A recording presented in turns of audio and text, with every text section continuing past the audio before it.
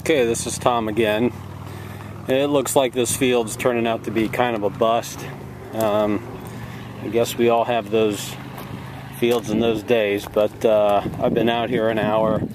All I found is that one that one little piece, but um, if you guys are like me, you're always running into interesting things that you pick up out in the fields. And um, uh, I found something a little bit earlier I thought was kind of interesting. Uh, about a year ago, we had a tornado move through the county, oh, probably about 10 miles west of here. And um, those of you, especially down in Missouri, understand the power of a tornado.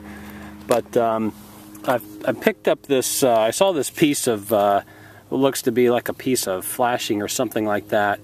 And um, one of the things that was destroyed um, in that tornado was a, uh, a large greenhouse. And I thought this was I don't know if you can read that.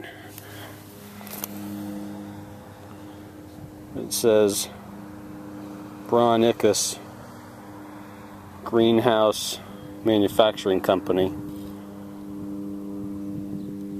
So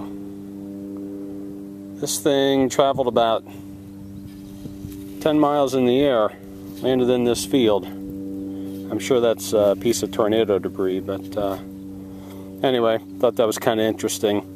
Hopefully I'll turn the, uh, the camera back on here and show you an arrowhead before I leave, but I don't think I'm going to spend too much more time out here. Alright, maybe I'll just take that with me and toss it off the side. Talk to you later.